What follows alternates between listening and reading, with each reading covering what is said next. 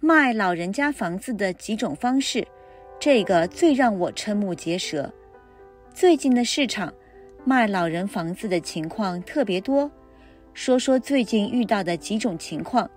第一种，赶紧卖了拿钱行，这是大部分老人房的最终宿命。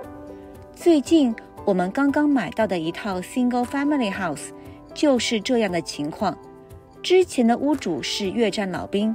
最近刚去世，trustee 卖房，房子在卖的时候做了简单的装修，刷了墙，换了地板，开价比周围的房子已经低了一截，下的 offer 比 listing price 低了不少，结果 seller side 没有 counter，没有 negotiate，直接就收了。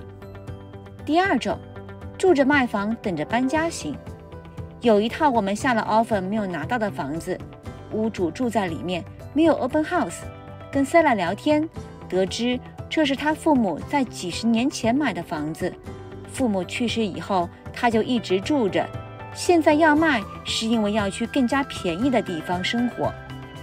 第三种，不到心理价位坚决不卖，最后自己买下了，这是从业这么多年来第一次遇到的情况。屋子的原主人是一位老太太，最近刚去世。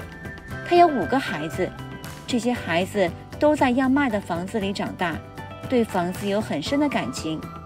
房子只有收到两个 offer，我们的条件略好，因为价格明显低于预期，seller 一直不能决定，等了整整三天。最后的故事是这样的：五兄妹中的一个决定自己把房子给买了，因为舍不得把自己长大的房子低价卖了。加上自己也有经济实力，于是我们 out 了，房子也下市了。这真是我最瞠目结舌的操作。仔细想想，如果自己是房子的主人，最最走心的操作应该是自己的孩子愿意把自己的房子精心维护，世世代代一直一直传承下去吧。